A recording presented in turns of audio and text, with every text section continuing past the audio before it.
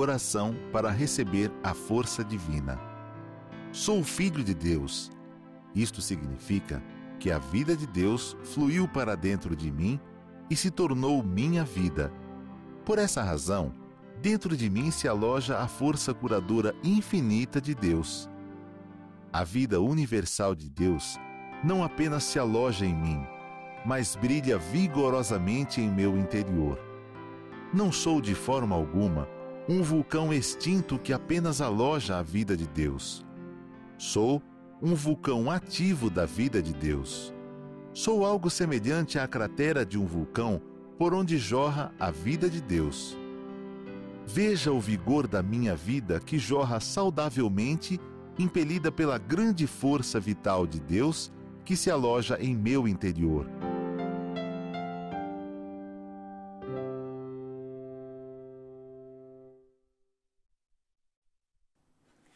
Olá, reverências, muito obrigado, queridos educadores.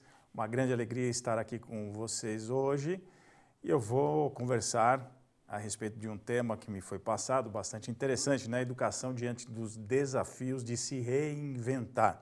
Quero dizer que a Aceite do Brasil tem uma área, uma superintendência, que é coordenada pelo nosso amigo, o preletor Luiz Gomes, que cuida justamente dos profissionais em educação, que é você.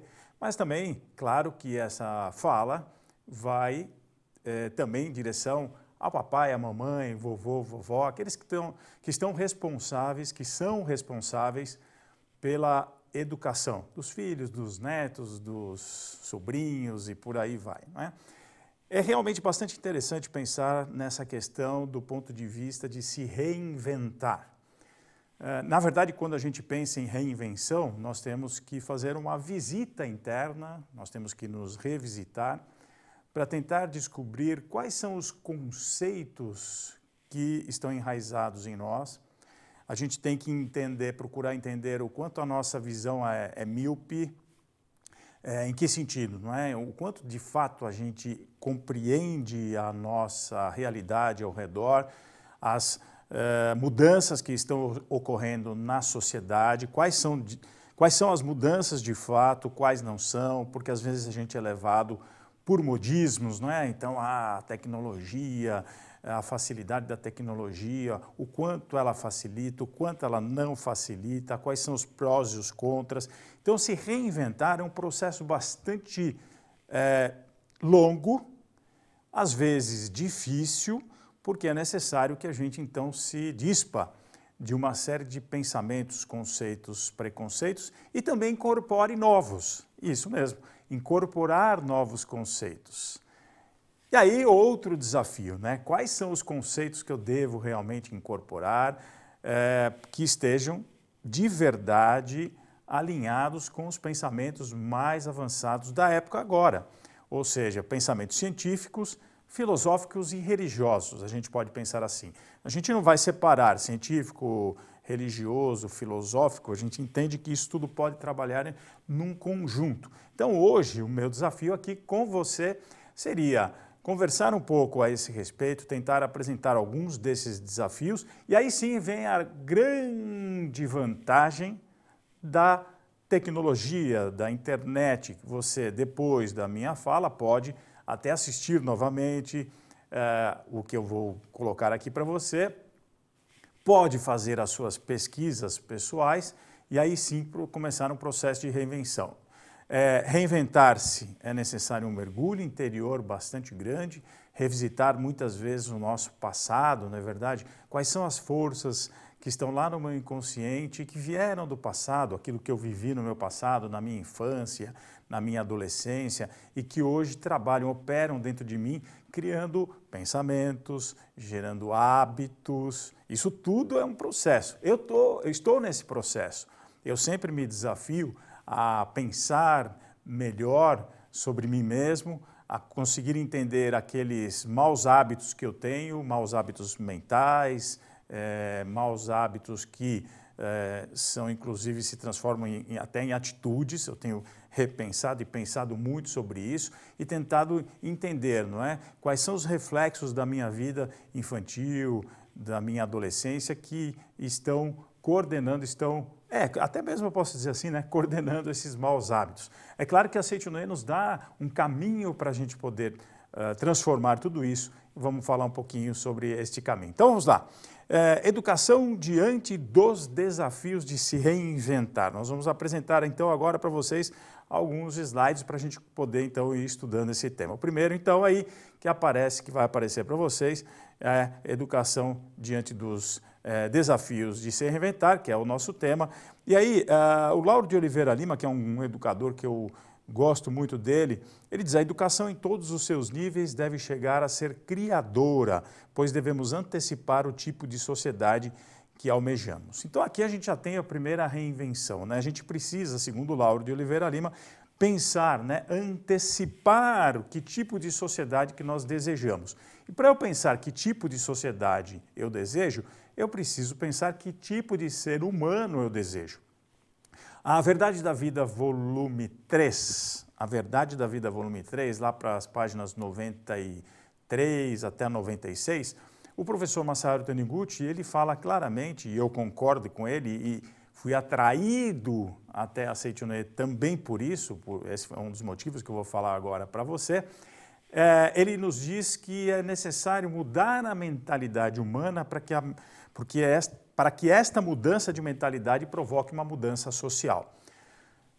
Eu estou com ele nesse sentido. Eu acredito que você não consegue mudar as condições sociais ou materiais, né, circunstanciais, para que a mente humana consiga fazer uma mudança. Tem gente que defende isso. É, também a gente não precisa olhar essas coisas separadas, elas podem estar numa relação que a gente chama uma relação dicotômica, né? as duas coisas, uma influenciando a outra. Mas eu tenho para mim que se a gente começa a mudar as concepções da sociedade na mente humana, consegue pensar em uma forma diferente, não só de sociedade, mas de ação, de atitudes, aí você consegue naturalmente é, fazer com que as pessoas pensem, mas é essa sociedade que eu desejo viver?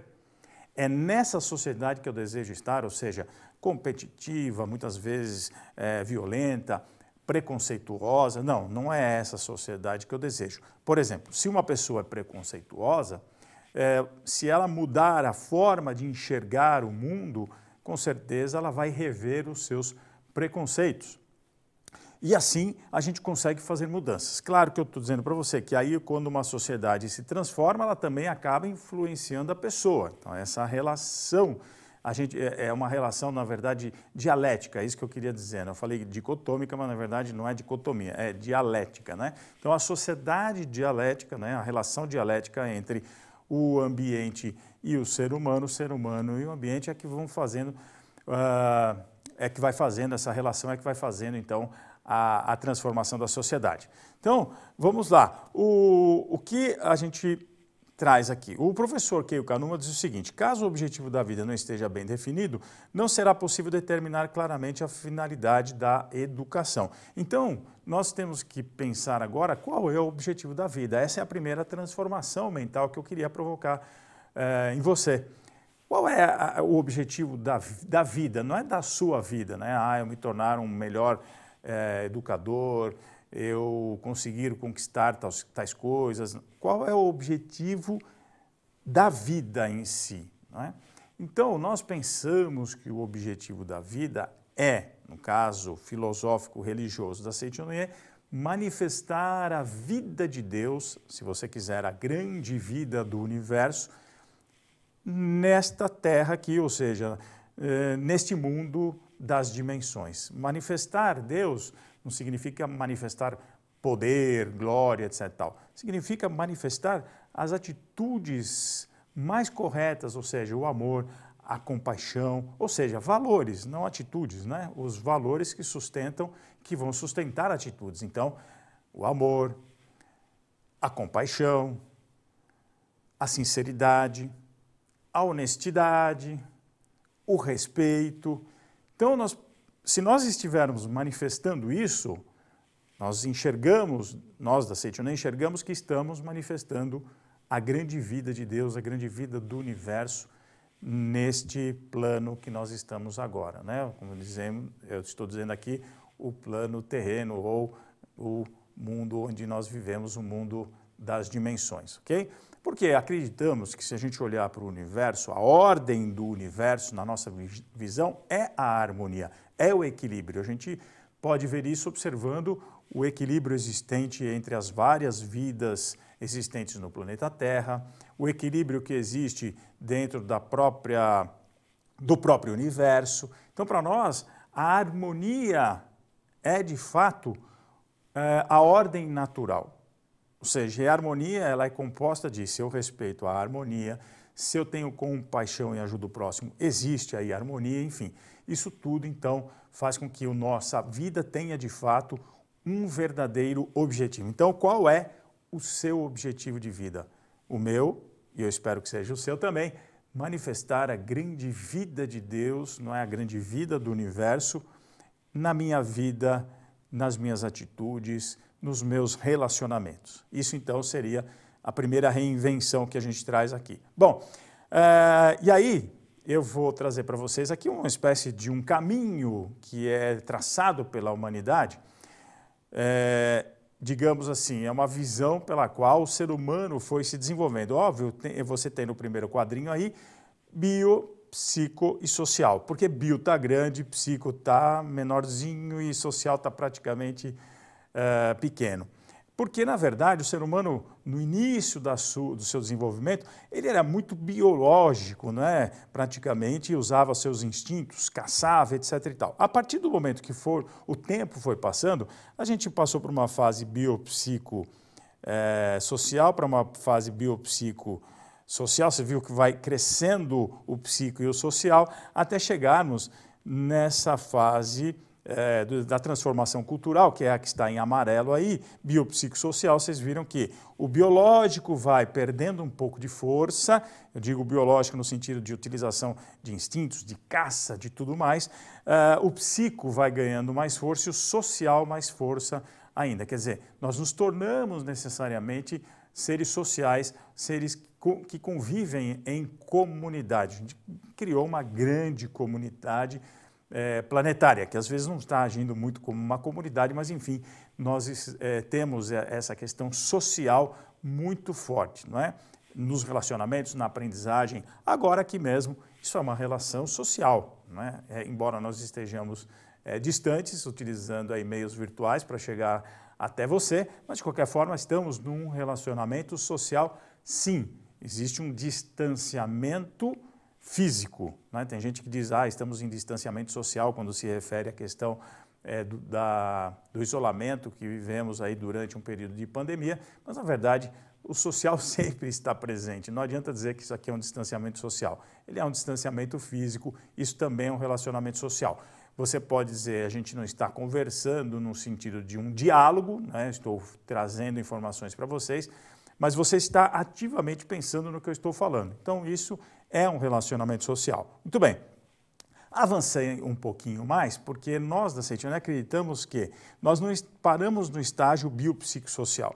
Nós também estamos evoluindo cada vez mais para o que a gente chama de espiritual, vocês viram, né? O bio, psicossocial, espiritual e mais um elemento aí que seria o imagem verdadeira que está abreviado. Então, o ser da imagem verdadeira é o ser perfeito, criado à imagem e semelhança de Deus, que está aí muito preconizado lá em, é, em Coríntios, né, de 1 a 13, para quem gosta de ler a Bíblia, não é que é o ser humano amor, né, ainda que eu falasse a língua dos homens, que eu falasse a língua dos anjos, sem amor eu nada seria, este amor justamente que está lá descrito em Coríntios é justamente o amor que nós estamos buscando, o amor compaixão, o amor solidariedade, o amor respeito. É, eu gosto muito de pensar o amor com os seus né, agregados, para que fique muito claro que o amor não é só o sentimento de dizer eu amo você, ou seja, eu quero que você esteja sempre do meu lado, sempre perto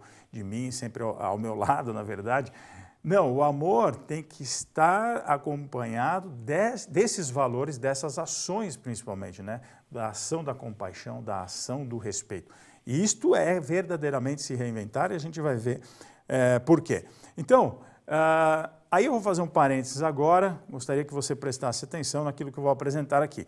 Nós vamos falar um pouquinho de assimetria. Então, conforme a humanidade foi se desenvolvendo, uh, alguns estudos aí da, da neurociência apontaram né, que nós trabalhamos com o hemisfério esquerdo e direito do cérebro. Isso é só um recorte, a coisa não é tão estanque assim, mas esse hemisfério esquerdo é predominantemente digital.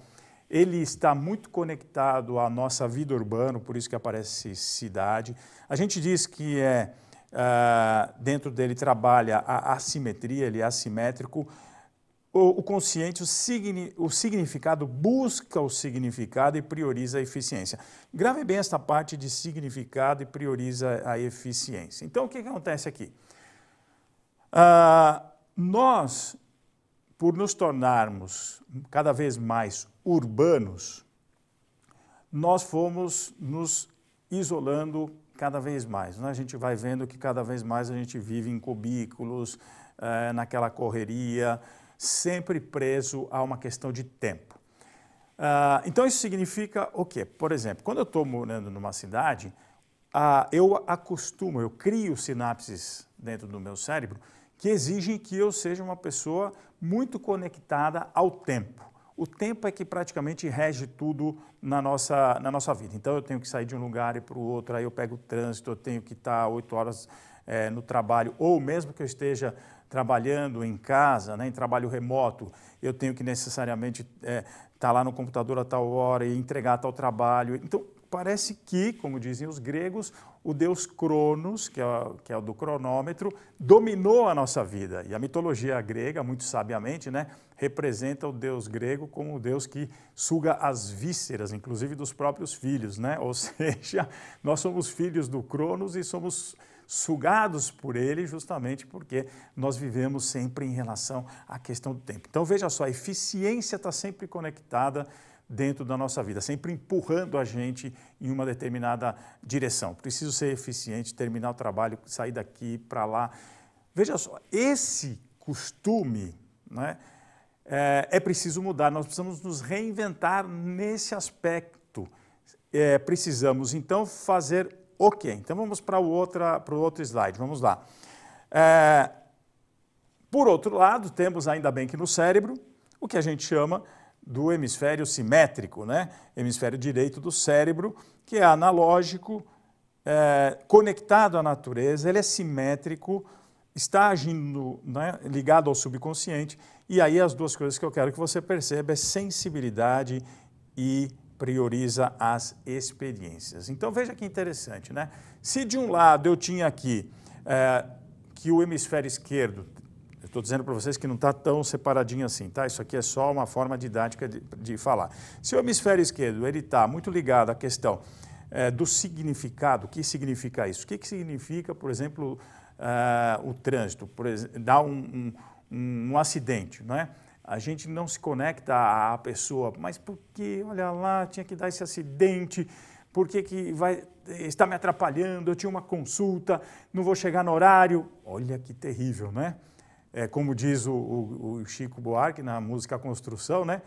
Morreu na contramão atrapalhando o tráfego, né? Quer dizer, a gente não está pensando naquelas pessoas que se envolveram, se estão bem, se não estão bem. Isto seria uma ação da compaixão. E aí vem aquilo que nós falamos para você. É, se o hemisfério esquerdo, né, se uma parte do nosso cérebro está ligado no significado, a outra parte na sensibilidade, nas experiências. Ou seja, é aquele momento que você vendo um acidente, você diz: Nossa, o que se passou com essa pessoa? Mas se eu tenho uma vida urbana e estou o tempo inteiro conectado ao tempo cronômetro, obviamente eu treinei a minha mente, criei um hábito mental e não sou uma pessoa insensível. Você não é uma pessoa insensível, as pessoas não são insensíveis, elas simplesmente foram habituadas, graças à sua vida urbana, a agir desta maneira. Então, nós precisamos trazer para a educação o quê? Nós precisamos trazer para a educação mais experiências, mais sensibilidades, fazendo o corpo, inclusive, funcionar nesse sentido. Você que é, é papai, que é mamãe, aí talvez comece já a entender a grande importância que existe da gente trabalhar com a criança em experiências. Lembram quando aquela professorinha colocava você lá, é, colocava o feijãozinho lá no algodão, etc, para ver para ver a criança, né, para ver, perdão, a, a, sementinha brotando e a criança observando aquilo. É, quando a gente trabalhava no jardim com, com a mamãe, com a vovó, que nos ajudavam a plantar uma plantinha, etc. e tal. E é essa experiência né, de pintar, de olhar, de ver o tempo passando e as coisas acontecendo, essas experiências estão deixando cada, estão ficando cada vez mais de lado e dando lugar ao quê? A uma tela digital onde a pessoa, por exemplo, a criança ou adolescente, ele vai clicando e vendo as coisas acontecerem numa velocidade que não condiz com a realidade, por exemplo, você pode botar uma plantinha lá na, na tela do seu celular, dar um clique e de repente ela vira uma árvore e isso vai causando uma série de problemas, vai treinando a criança, treinando esse ser humano a ser cada vez mais o quê? Ou a exigir cada vez mais eficiência, a buscar mais o significado, que não é ruim, tá? eu estou dizendo que não podemos priorizar isso, e deixando de lado a experiência. Se eu deixo de lado a experiência, a experimentação, eu estou deixando de lado o quê? O próprio ser humano, o contato com o outro, o convívio com o outro. Como é que eu quero mudar a, a, a sociedade se eu não consigo enxergar que esse tipo de coisa está nos levando a um mundo cada vez mais é, de distanciamento entre as pessoas. Por isso, reinvenção. Né? Eu preciso conhecer isso e pensar: opa, peraí, faz sentido, espero que faça. Faz sentido, então o que, que eu preciso fazer? Eu preciso estimular estes seres humanos a ter mais o quê? Sensibilidade, a ter mais experiências. E a experiência passa necessariamente pelo contato com a natureza, o contato com o outro ser humano. Entenderam? Aqui então está um grande processo de reinvenção. Você também tem que se reinventar, porque se você quer educar uma outra pessoa, você precisa necessariamente fazer o quê? Se reinventar e ter os hábitos que você deseja que o outro tenha também. Então, se você deseja ter uma vida mais voltada às experiências, a sensibilidade, você precisa começar a fazer isso consigo mesmo. Talvez diminuir a sua exposição às telas de celulares, de smartphones ou de notebooks. Começar a trabalhar mais com, é, com plantas, pinturas, começar a ler mais livros é, de poesia. Isso tudo é uma forma de se reinventar para que você se prepare para poder dar a educação correta para essas gerações que estão agora diante de nós. Bom, vamos lá avançar um pouquinho mais então. É, aí eu tenho aqui de novo aquele quadrinho, né? Eu voltei com ele porque eu quero então fixar para você, vocês aqui esse conceito, né? Biopsicossocial espiritual, a imagem verdadeira. Então o que, que seria a imagem verdadeira?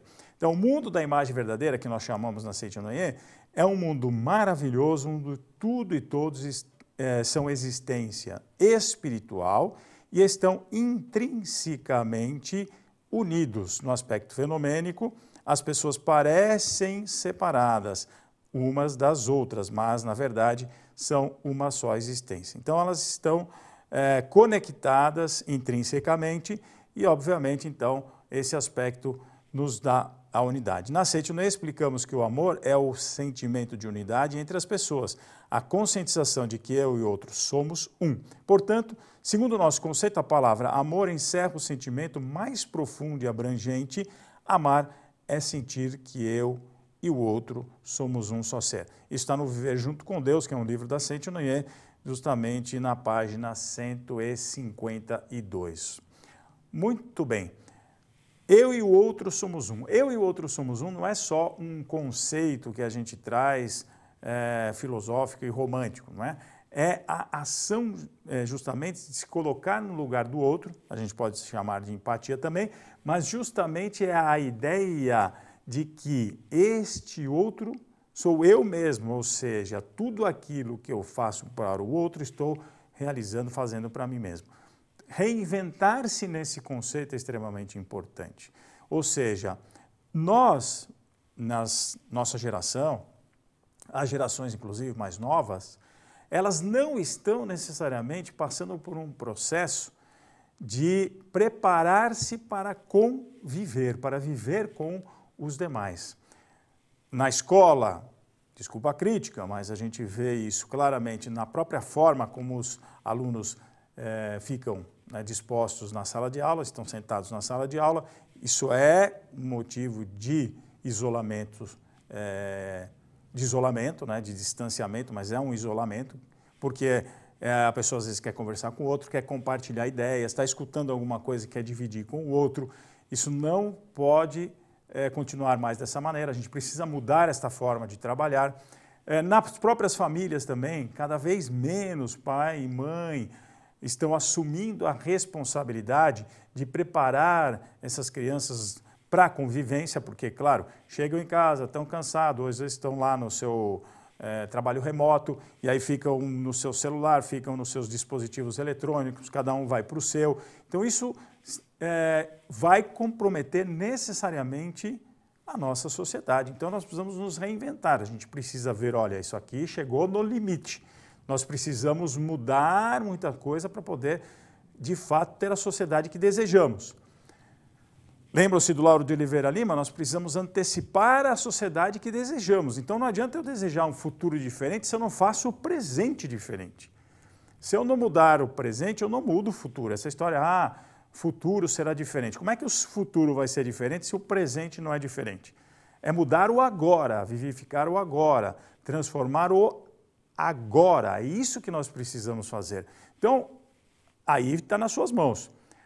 É? O desejo de deixar um mundo melhor para as futuras gerações não começa amanhã, começa agora, nesse exato momento, através das reflexões que a gente faz aqui, de outros autores, de outras pessoas que fazem muitas reflexões, ok? Então vamos avançar um pouquinho mais aqui. Uh, o ponto essencial, que está, o ponto essencial da dedicação de amor é aprofundar a fé praticando a meditação Shinsokan, efetuar a leitura da sutra e ir manifestando na vida prática esta fé. O ato de amor deve estar enraizado na vontade divina e na fé. Bom, se você está chegando pela primeira vez, não sabe o que é meditação Shinsokan, Shinsokan significa ver, contemplar Deus com os olhos eh, espirituais, com os olhos da mente. Nós vamos praticar essa meditação no final da nossa conversa e então nós vamos concentrar a nossa mente naquilo que desejamos ver projetados, é, projetado na tela do tempo e do espaço. A gente visualiza, eu desejo harmonia, eu visualizo harmonia, eu desejo saúde, eu visualizo saúde, eu desejo paz, eu visualizo a paz. E por que, que ele diz, o professor Masaru Taniguchi, aliás, perdão, né, o professor Masanobu Taniguchi, no, no livro Caminho de Paz pela Fé, que está na página 69, Caminho de Paz pela Fé, na página 69. É, Por que, que ele diz aqui o ato de amor deve estar enraizado na vontade divina e na fé? Deve estar enraizado na vontade divina e na fé, porque muitas vezes a gente olha a aparência externa de um ser humano e perde a fé. Não acredita que, que é possível uma mudança. Na vontade divina significa expressar o divino, que é o amor, sabedoria, a alegria, a harmonia, vamos incluir aí a compaixão, é, a solidariedade, o respeito. Isto é enraizar a nossa ação na vontade divina e na fé. E na fé é a crença de que com certeza é possível realizar uma mudança se eu acreditar, se eu buscar. Não é só buscar, uh, não é apenas, na verdade, buscar uma fé religiosa cega, mas é buscar uma fé religiosa, inclusive o próprio professor Masaru, eh, Masaharu Taniguchi fala assim, uma fé religiosa científica. Então há muitas coisas a serem feitas nesse sentido de reeducação e reinvenção do próprio ser humano. E aí que a gente vai convidar você a avançar um pouquinho mais. Vamos lá. Então, uh, está no Viver Junto com Deus, na página 25. Está escrito assim: Ele, Sakyamuni, se refere a, a Sakyamuni, não é? é? Contemplou o ser superior que está no âmago dessas formas e estruturas fenomênicas, ou seja, ele está vendo a, a perfeição de todos os seres, enxergando lá dentro deles a perfeição. Ele viu Buda ou Deus que está no âmago de todas as pessoas e coisas. Ele viu que Buda, né? Ele viu Buda, né? Ou Deus, ou, que, é, que, está no âmago de todas as pessoas e coisas. Ou seja, vis, é, ver né, que Deus está no interior de todas as coisas, Deus ou Buda está no interior de todas as coisas, significa acreditar que todo ser humano traz dentro de si todas as virtudes divinas. Essa é uma reinvenção. Todos os seres humanos. Não há como dizer que um é melhor que o outro é, com relação à questão é, do gênero, com relação à questão é, de cor de pele. Não há diferenciação nenhuma. Então, o ser humano deve desenvolver esta capacidade, extrair né, essa capacidade que ele tem de manifestar Deus nestes aspectos, ou seja, ver que o outro também é um filho de Deus, ver que o outro também tem todas as belezas do mundo da imagem verdadeira, da perfeição, dentro dele também. E como é que a gente vai ensinar isto? Não é? Como é que a gente vai é, fazer com que o ser humano desenvolva essas capacidades que muitas vezes estão lá latentes ou então ficam adormecidas, porque dependendo do ambiente social em que ele vive, tudo isso vai ficar adormecido. E o trabalho do educador, seja ele profissional ou não, é justamente criar condições para que cada criança, adolescente, mesmo adulto, exteriorize isso. Senão nós não vamos mudar a sociedade, gente. não vai modificar isso. Então, é, vou dar um exemplo, um exemplo para vocês. Numa das escolas que eu ajudei a, a coordenar no trabalho, é, um dos meninos dava assim, aqueles que a professora quer ver longe muitas vezes, não é? Trabalho, é, bagunceiro, enfim, uma série de, de questões de comportamento. E a professora estava muito desgastada e eu pedi para ela se eu poderia conversar com esse menino. Comecei a conversar várias vezes com ele. A gente sentava, batia papo, eu contava é, sobre a minha vida, isso é muito importante na humanização né, dos relacionamentos, mas sempre eu acreditando que, com certeza, se eu estou conectado a ele, eu conseguiria trazer dele algo que pudesse mostrar que aquele comportamento que ele tinha estava ligado a um sentimento. Ele expressava um sentimento através daquele comportamento que incomodava tanto a professora. E aí, papo vai, papo vem, a gente estava conversando e ele foi contando da vida dele, do pai, do, do pai que usava drogas, do pai que estava todo tatuado, que já tinha sido preso, que tinha se separado da mãe, que ele via o pai é, muito de vez em quando, mas às vezes ele chegava para ver o pai, o pai estava alcoolizado, isso quando não estava drogado, e ele foi conversando comigo, eu fui ouvindo aquilo. Ele tinha por volta, tem, né? É, tinha, na verdade, por volta de nove anos, isso foi no, o ano retrasado.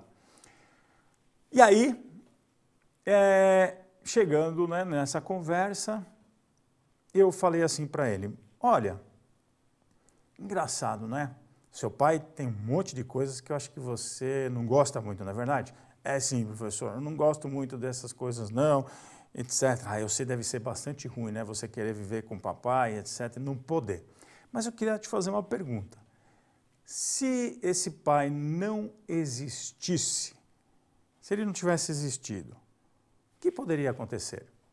Ele ficou pensando, pensando hum, se esse pai não existisse, e eu doido para que ele desse uma resposta que eu estava esperando, né?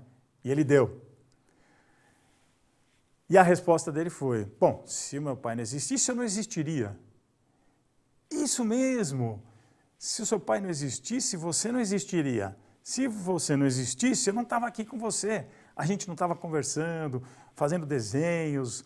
Eu contei da minha vida para você, você contou da sua para mim, a gente não estava, nem se conhecia, né?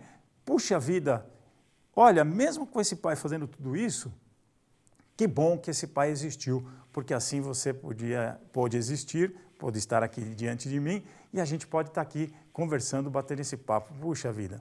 Bom, no dia seguinte, ele chegou com um presente para mim e, passados uns dois dias, ele me encontra no corredor, ele vem correndo na minha direção e pula. Eu tive que segurar ele no braço. E ele falou assim, perto do meu ouvido, assim, sabia que eu te amo? Ah, aquilo foi de, de matar, né? E o comportamento dele começou a modificar. Olha só, né? A crença no ser humano, ver Buda, ver Deus no outro, é isso.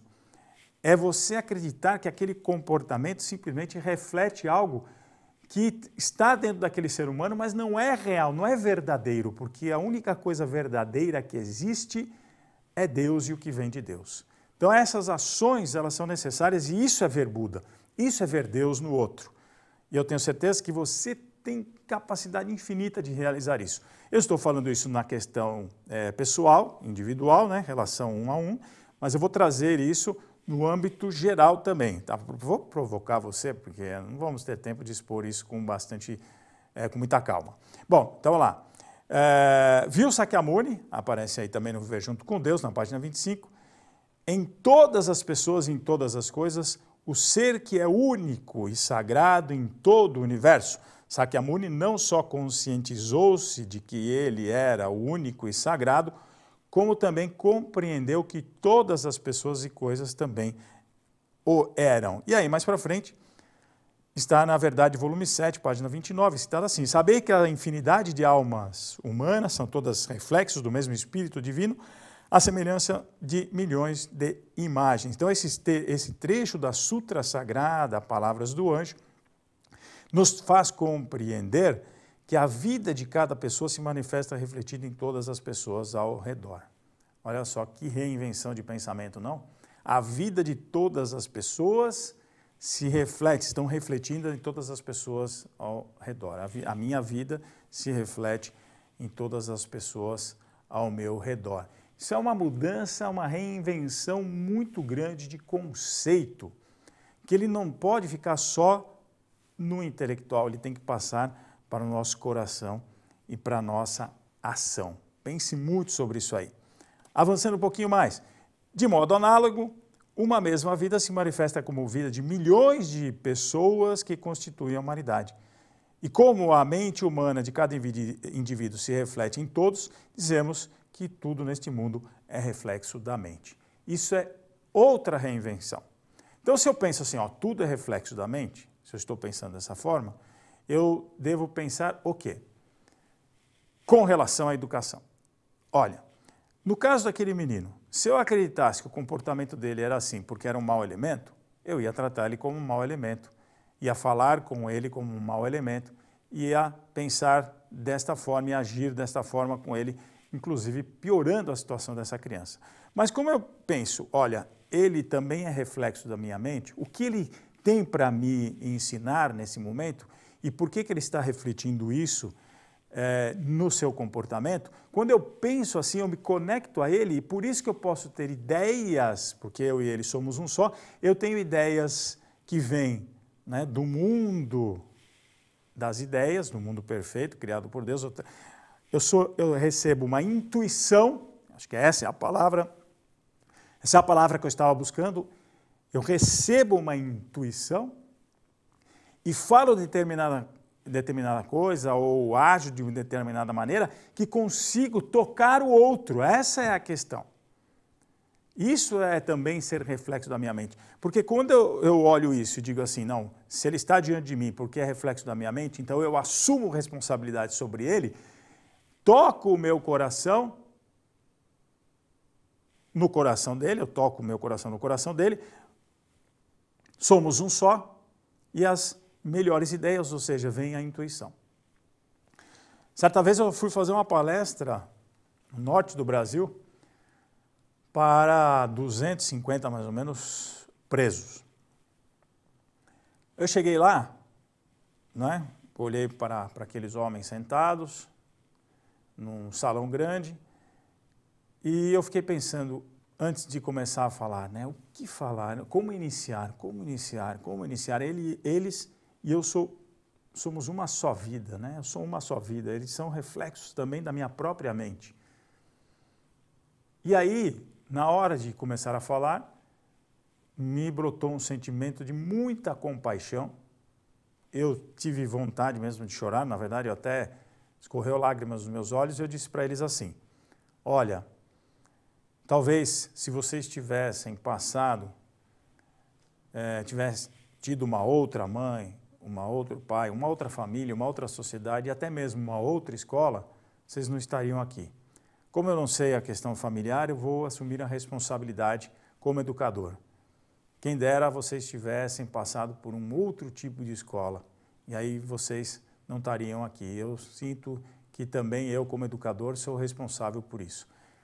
Fiquei tão emocionado de falar é, isso, dei um silêncio, aí toquei a palestra, né, toquei a fala. Quando terminou, vários né, me rodearam, conversaram comigo, um deles, inclusive, né, com uma cara bem sisuda, assim, apertou minha mão e disse, olha, valeu mesmo, muito obrigado mesmo pelo que você falou. E ele tinha, inclusive, decidido, a, os dois filhos dele, segundo ele falou, estavam no crime e ele tomou a decisão, não lá, claro, comigo, ele já tinha tomado a decisão, mas reforçou a decisão dele de tirar aqueles meninos daquela situação. E aí eu até brinquei com ele, mas como é que você vai tirar eles? Hum, se fui eu que coloquei, eu tiro. Olha só que determinação. Então, isso é a ação do eu e o outro somos um. Bom, vamos lá então.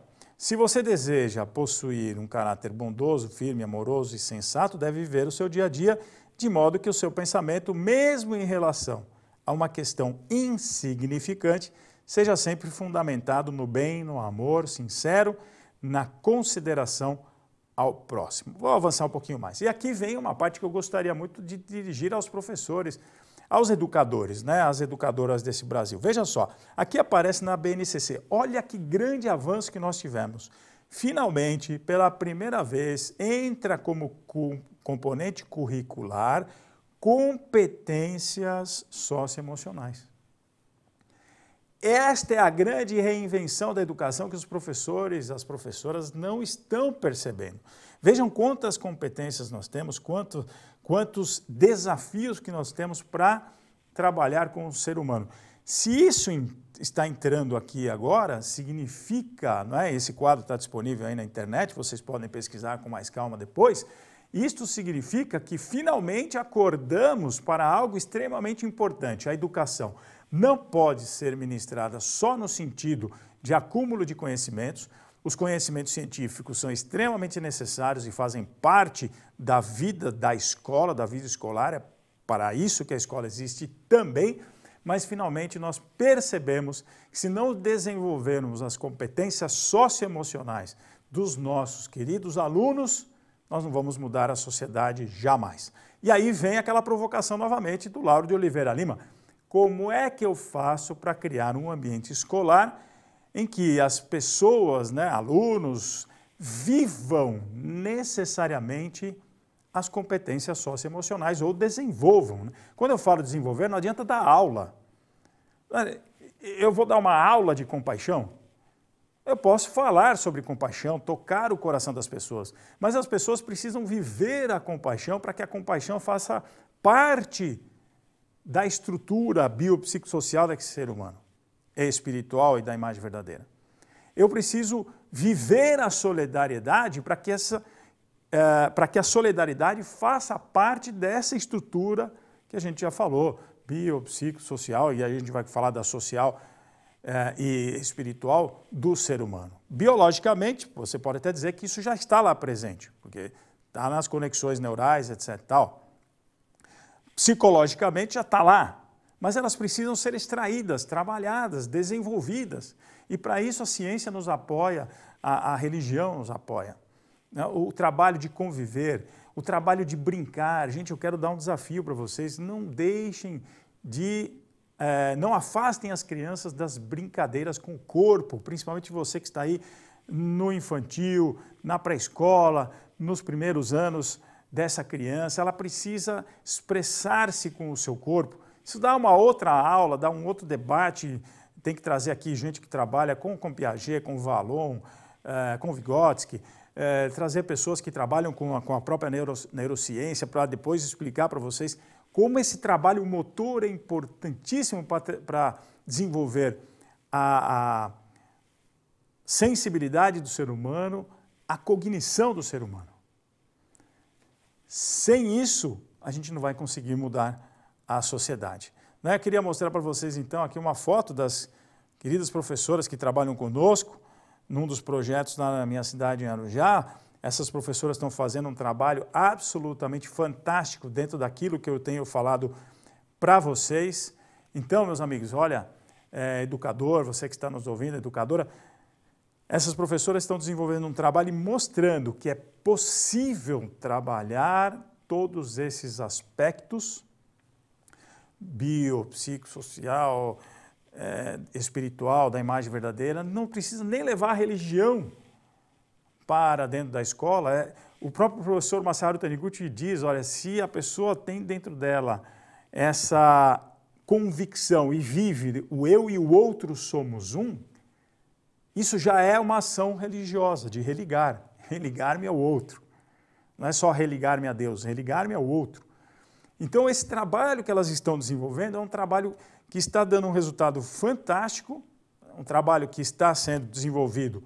E aí vocês vão ver o resultado aí aparecendo de uma das escolas, né, não é essa que eu mostrei para vocês, onde as professoras aplicaram toda essa metodologia de trabalho cooperativo, de trabalho em grupo, e vocês vão ver o seguinte, olha só, a sala 1 foi a sala que aplicou esta intervenção que a gente está chamando aí, uh, dentro desse trabalho social, desse trabalho cooperativo. E a sala 2 era uma sala de controle que trabalhou, na verdade, da forma que a gente mais conhece, tradicional. Então, a sala 1 um tinha lá no eh, desenvolvimento da língua portuguesa, é, como vocês podem acompanhar aí, é, veja o índice de baixo né, desempenho da, das crianças, de aprendizagem das crianças, médio e alto da sala 1 da sala 2. Então, compare, por exemplo, a sala 1 no primeiro bimestre e a sala 1 no quarto bimestre e veja como cresceu o número de crianças que passaram né, a ter mais facilidade de aprendizagem.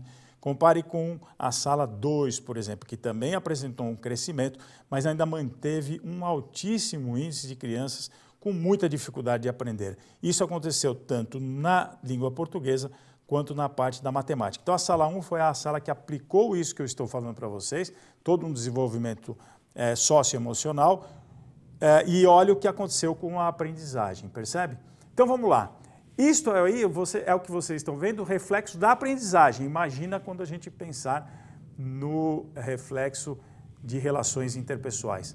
O avanço foi impressionante. Bom, tempo aí já se esgotou muito assunto, muita conversa. Quem sabe a gente faça aí qualquer dia uma roda de conversa bastante tranquila para a gente então conversar melhor com vocês a esse respeito. Fica aí então uma dica, né?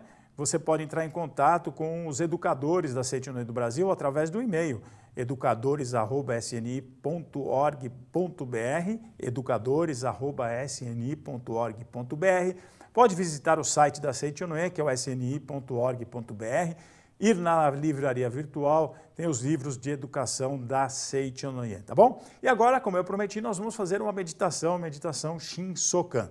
Essa meditação Shinsokan, como eu disse, nós vamos ver, contemplar Deus com os olhos da mente. Então, durante o silêncio, que nós vamos permanecer de, uh, durante alguns minutos, você, quando fizermos o silêncio, você começa então a visualizar não é, a cena que você deseja ver projetada na tela do tempo e do espaço, você vê a cena na sua mente. Esta cena é a cena da realidade, é a cena do mundo da imagem verdadeira. E com o tempo, ela vai se projetando na tela do tempo e do espaço. Você pode ter mais informações sobre meditação Shinsokan também nos nossos livros e assistindo também no YouTube as aulas, as palestras sobre meditação Shinsokan, tá bom? Então eu peço que você vá ficar em posição de meditação, se, é, estando sentado você pode sentar, juntar os calcanhares, as, a mão, né? As mãos justapostas diante do rosto, ok? É, não é súplica, Por isso oramos, mentalizamos e meditamos com alegria.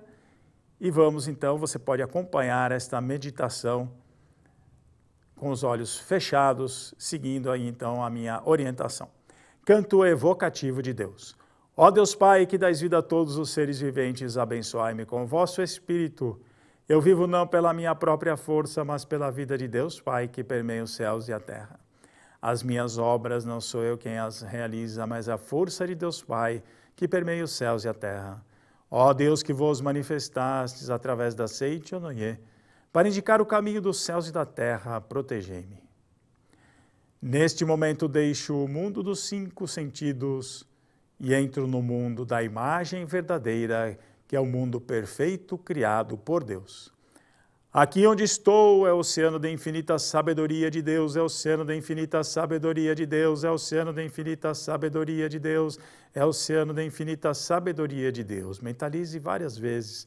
É o oceano da infinita sabedoria de Deus, visualizando com os olhos espirituais um mundo vasto e esplendoroso de grande sabedoria. É o oceano do infinito amor de Deus, é o oceano do infinito amor de Deus, é o oceano do infinito amor de Deus, é o oceano do infinito amor de Deus, é o oceano do infinito amor de Deus. É o oceano da infinita vida de Deus, é o oceano da infinita vida de Deus, é o oceano da infinita vida de Deus, é o oceano da infinita vida de Deus, é o oceano da infinita vida de Deus, é o oceano da infinita vida de Deus, é o oceano da infinita vida de Deus, é o oceano da infinita vida de Deus. É o oceano da infinita provisão de Deus, é o oceano da infinita provisão de Deus, é o oceano da infinita provisão de Deus, é o oceano da infinita provisão de Deus, é o oceano da infinita provisão de Deus, é o oceano da infinita provisão de Deus.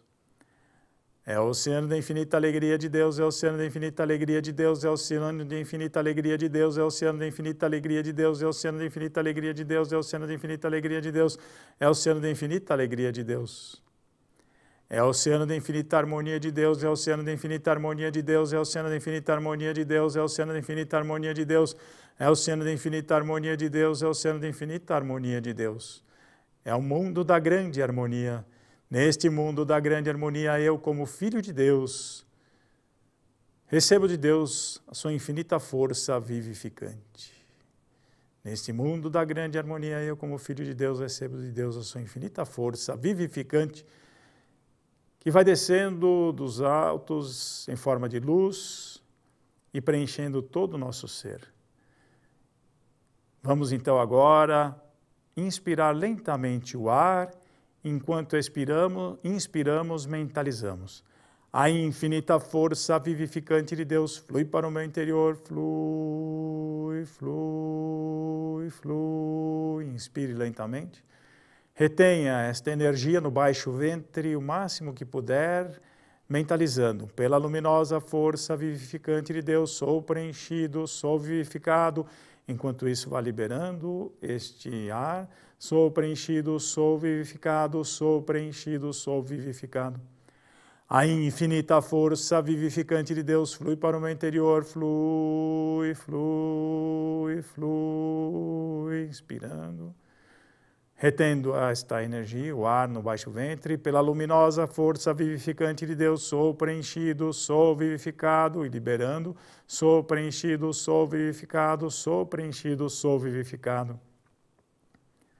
A infinita força vivificante de Deus flui para o meu interior, flui, flui, flui. Pela luminosa força vivificante de Deus, sou preenchido, sou vivificado, sou preenchido, sou vivificado. E assim atingimos um estágio de compreensão, sentindo que toda a vida de Deus agora preenche o nosso ser, nós somos a própria vida de Deus, e dessa forma declaramos: já não sou eu quem vive, é a vida de Deus que me vive já não sou eu quem vive, a vida de Deus que aqui vive. Já não sou eu quem vive, a vida de Deus que aqui vive. Obrigado, obrigado, muito obrigado. E assim voltamos à mentalização inicial. Aqui onde estou é o oceano da infinita sabedoria, amor, vida, provisão, alegria e harmonia de Deus. Depois fazemos mais uma vez a inspiração e expiração e aí realizamos a contemplação. Vamos ficar por alguns minutos de olhos cerrados, contemplando a perfeição da imagem verdadeira manifestado na nossa vida, na saúde perfeita, na harmonia perfeita, na educação perfeita. Visualizamos exatamente o mundo perfeito de Deus manifestado em toda a nossa vida, todas as pessoas ao nosso redor manifestando-se como filhos de Deus que são, por alguns instantes.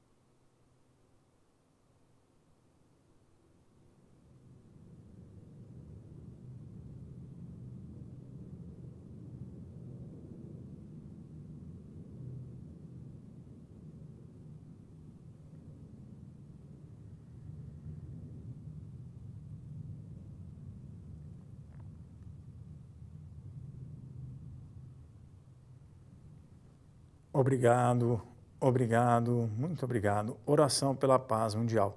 O infinito amor de Deus flui para o meu interior, em mim resplandece a luz espiritual de amor. Esta luz se intensifica, cobre toda a face da terra e preenche o coração de todas as pessoas com espírito de amor, paz, ordem e convergência para o centro. O infinito amor de Deus flui para o meu interior e em mim resplandece a luz espiritual de amor. Esta luz se intensifica, cobre toda a face da terra e preenche o coração de todas as pessoas com espírito de amor, paz, ordem e convergência para o centro. Canto da grande harmonia. A harmoniosa vida de Deus ilumina o universo e no mundo reina a paz. A harmoniosa vida de Deus ilumina o universo e no mundo reina a paz. Muito obrigado. Assim nós terminamos a nossa conversa com vocês, a nossa meditação. Continue firmes na meditação e educadores da Seite União do Brasil está de braços abertos para conversar com você.